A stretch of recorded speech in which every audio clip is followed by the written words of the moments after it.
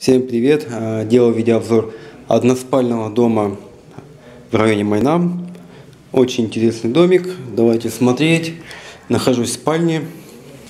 Э, домики отмечу, что новые абсолютно. Никто в них не жил, поэтому все свежее, все, все новое.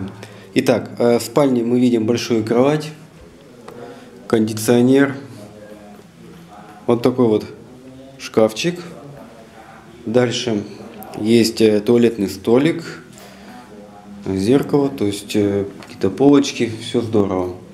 Далее телевизор, есть USB, HDMI, все здорово. Так, э, давайте посмотрим. Значит, посмотрим санузел. Санузел выполнен вот так. Значит, раковина вынесена а вот э, все остальное находится в отдельной комнате. Ну, давайте посмотрим, что там. А, здесь у нас унитаз, нагреватель, лейка, полочки, слив под душем, есть уклон, вижу, штанга.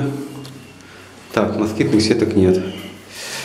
А, в принципе, санузел нормальный, добротный, все сделано хорошо. Единственное, что москитных сеток нет а, у окошечка. А дальше. Гостиная плюс кухня. Как таковой гостиной я бы не сказал, что она есть большая. Так, давайте посмотрим а, кухонный уголок. Кухонный уголок выполнен неплохо. В принципе, есть все необходимое. Так, есть а, тарелки, пару кружек, микроволновка, тостер, а, чайник. Э, средний холодильник. Также отмечу, что по желанию хозяин предоставит индукционную плиту. Есть напольный вентилятор. И вот такой вот столик, 4 стула. Э, назовем это обеденная зона, потому как э, полноценной гостиной назвать ее нельзя. Давайте посмотрим террасу. Терраса просторная, хорошая, мне нравится. Здесь есть э, два вот таких стульчика со столиком. И вокруг зелено. Здорово. Расстояние до соседнего дома примерно вот такое. Есть э, видеонаблюдение, направленное на въезд.